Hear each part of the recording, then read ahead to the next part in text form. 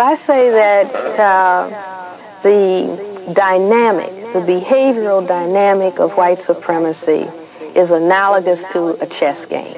We haven't looked at it in that way before. See, we've looked at it, everybody hold hands, ring around the rosy, we're all in this together. And found that, wait a minute, that's not what's happening. 7,000. Jerry, Jerry, Jerry, Jerry, Jerry, Jerry, Jerry, Jerry Curl.